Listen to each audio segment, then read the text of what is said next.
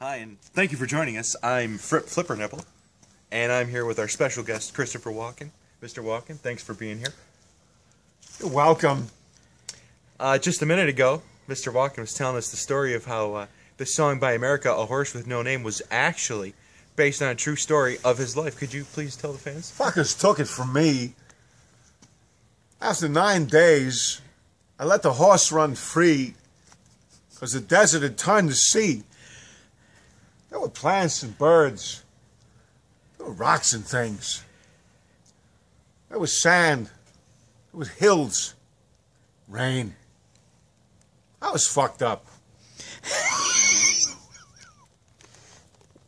I'm sorry. I'm sorry. Keep going.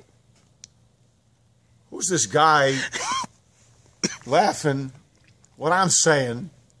It doesn't. It doesn't matter because he's fired after tonight anyway. Go ahead. Lost my horse. So I tried to call him. My horse had no name. So I said,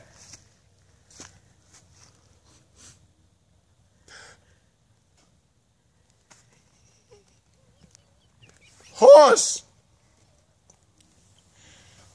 But he had no name. I'm sorry. I gotta go.